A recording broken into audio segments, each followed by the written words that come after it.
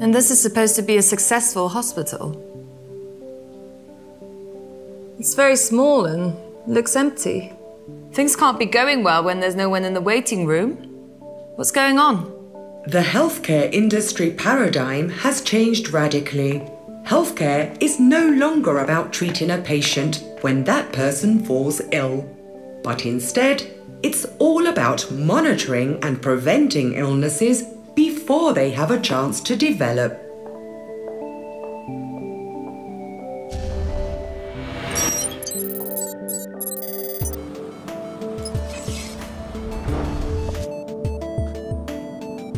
Where are all the patients?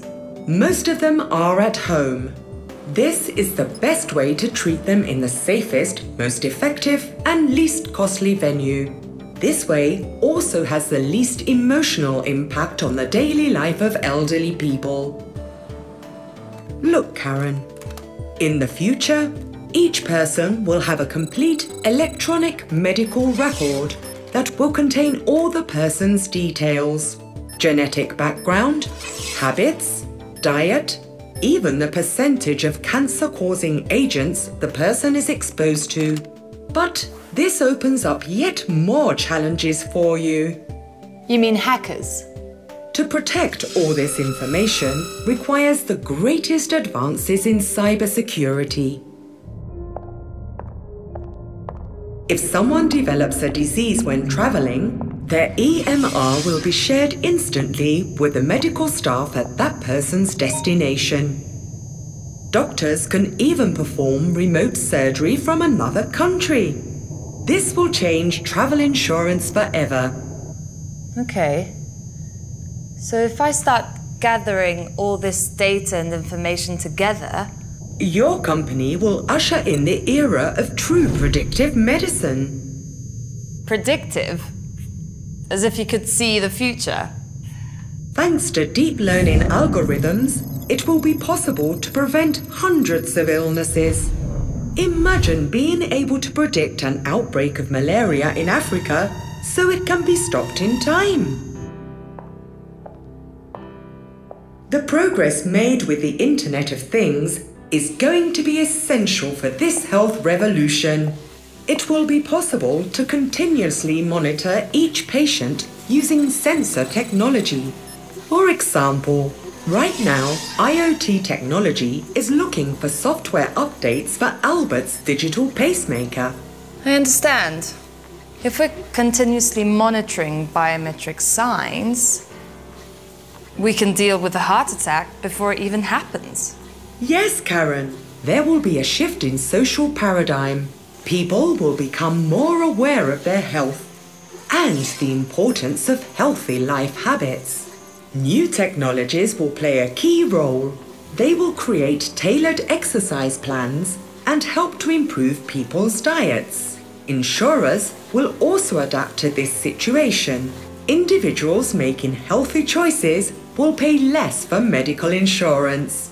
The other great revolution will be the reality of true virtual care. I get it. The key word is efficiency, which reduces visits to the doctor, which leads to less surgical intervention. Efficiency, which reduces staff costs and patient numbers. But what happens if there's a real emergency? This is what happens when there is an emergency.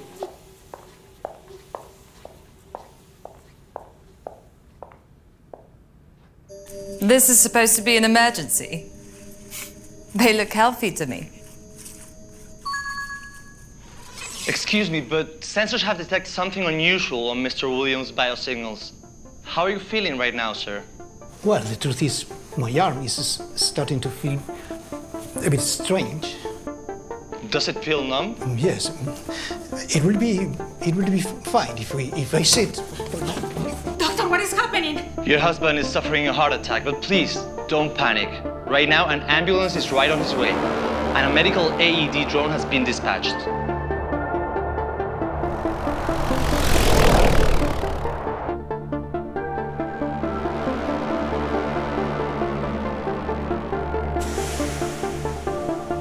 Please, Follow the instructions on the drone.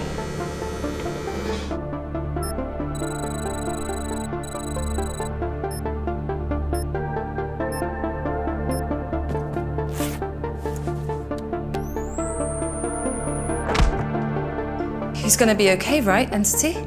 According to my data, he makes a full recovery.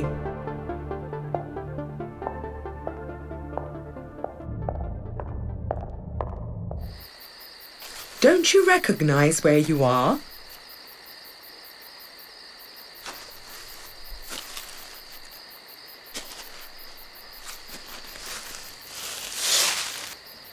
This is where our flagship office once stood. Exactly. Most of the companies involved in healthcare are bound to vanish.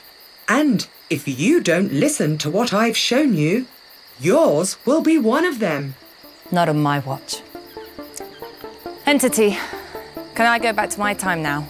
Of course, Karen. Before I go, Entity, thanks for waking me up.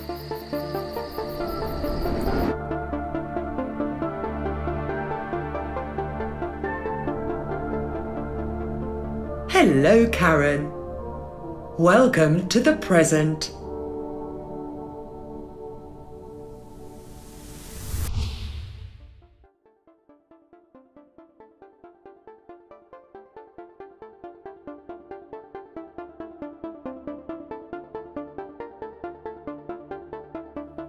Patients and doctor, instead of an expert and someone listening, they're really going to be peers. They're going to work together and partners so that we can really be authentic in the conversations. Sometimes I don't think we tell our doctors everything we need to do. You know, we fib, oh, I didn't eat those chips, or maybe I'm not smoking when I really am. So for us, since I believe that chronic conditions are really the problems we're going to have to solve in the future, if we aren't honest with ourselves, if we're not honest with our provider, we're not going to be able to make the health changes that we need to so that we can live a healthier life.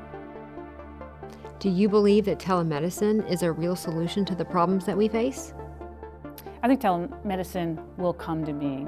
Maybe a little bit longer than we currently have hoped. I know that there have been telemedicine trials for the past five years, but as, as our our Skype and our Facebook and all the videos, the quality of the video improves, so will these interactions. So one of the struggles that we've had was can you really see rashes and conditions and, and those kind of dimensions that you need in telemedicine?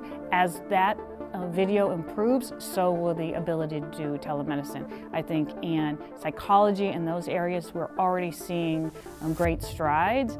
And as we get closer, as tests evolve too, that will make a difference.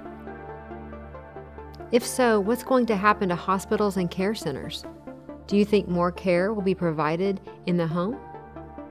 I think we're going to see a lot less visits to the doctor as telemedicine, as the way we can test patients a lot easier, that they can have home tests. We're already seeing more and more home tests as those those testing and diagnosis mechanisms improve. We will see more patients doing those types of tests um, at, in their home and we'll see less visits. And the visits that we see will be for larger, newer diagnoses or as well as surgical procedures that we might not want to do at home for sanitary um, or complication reasons.